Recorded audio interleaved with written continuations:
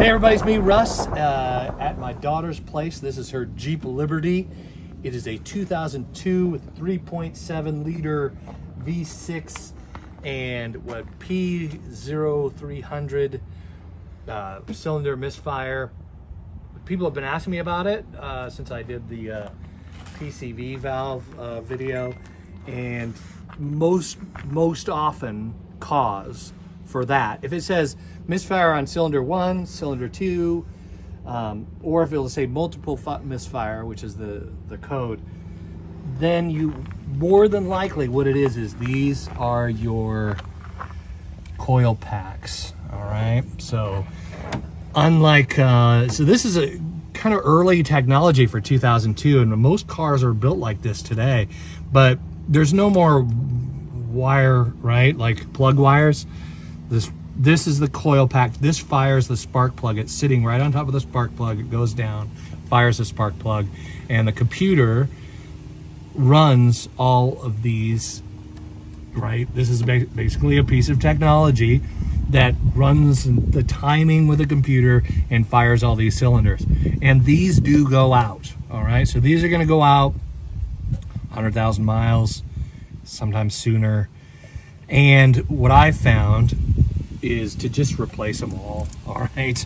I know it can be expensive, and if you're on a budget, you don't want to do that. But odds are, if you have one go out, another one is going to follow suit really quickly. So you don't want to deal with that. It's just best to. These went at O'Reilly for what was it, two hundred dollars? We got these for all these coil packs. I think it was less than that. Less than that. Yeah, something like that. You got this Jeep for twenty five hundred bucks, right? Like when? Two thousand. 2000 2000 bucks. 2000 was it? 2000 that's right we talked him down i think so yeah.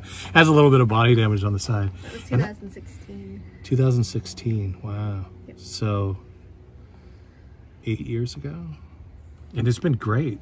And you've put a lot of miles on this thing. Oh, it's yeah. up to 216 now and it's, it's it loses some oil yeah a lot of road trips and off-road stuff even right up in the mountains. A little bit. So it's been a great these I love these little engines. These are these are great rigs. If you can find one used, I, I recommend them. Again, 216,000 miles. You take care of your vehicle, your vehicle will take care of you.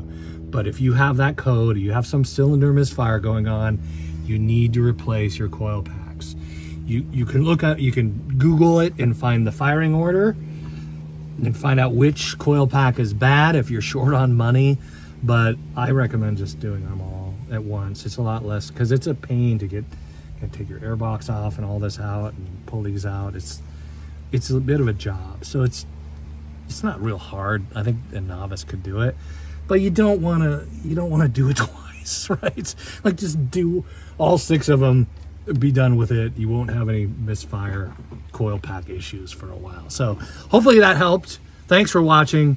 If this did help, by the way, there's a thanks button where you could leave a tip. If I saved you some money from your mechanic or something like that, uh, you could tip the channel. You could subscribe to the channel and you could like the video. And all of that would be like awesome. So thanks again for watching.